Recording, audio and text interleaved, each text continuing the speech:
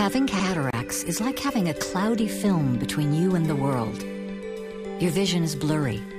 Colors can look faded and yellow.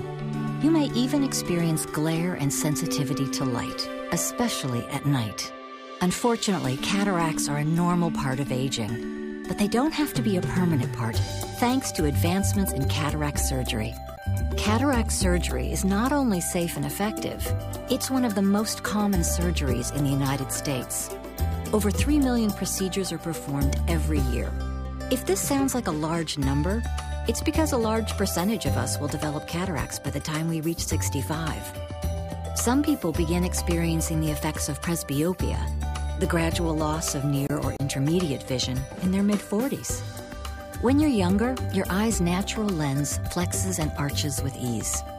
This process is called accommodation and it allows you to see clearly at a range of distances.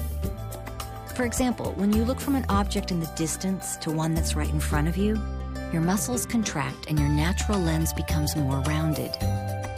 As you age, your lens becomes stiff and hardens, so it can no longer accommodate these changes. Without the youthful flexibility, the lens can't focus properly, making it difficult to see clearly at all distances and in all lighting conditions. During cataract surgery, this cloudy natural lens is removed and replaced with an artificial one, called an intraocular lens or an IOL.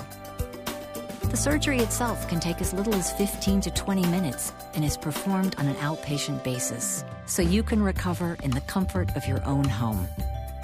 Once you decide to have surgery, you and your doctor will choose which type of lens you should receive, because all intraocular lenses don't work the same way. A standard monofocal IOL is designed to provide distance vision.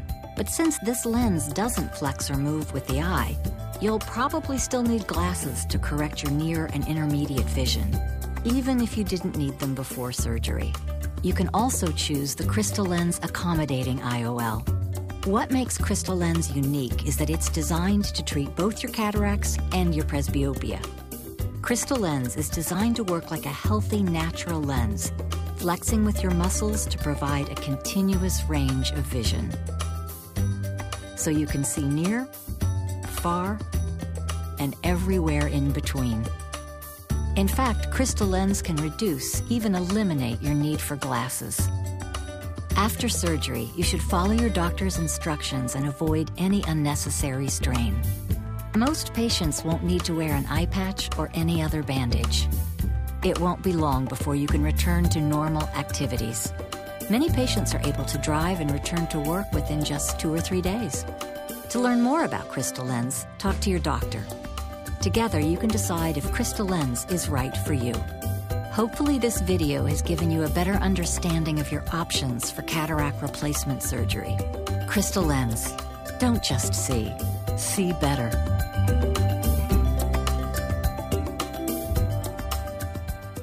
I had to wear glasses just about all the time. I couldn't see across the room. I couldn't drive anywhere without having my glasses on. I couldn't go shopping.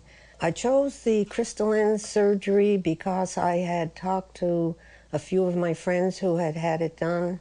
I had talked to other people who had not used the Crystalens, and they didn't seem to be doing as well as my friends who did. Right after the surgery, I went out for lunch and I went to work the next day, and uh, no problems whatsoever. Having the, the Crystalens in has made me so much freer without having to worry about putting glasses on all the time. When I go outside, I can see all, all the colors are better, and I can read anything, and I can drive anywhere. It's just wonderful. I had been diagnosed with um, cataracts about 10 years prior to my having these Crystalens inserted, and that was about six months ago.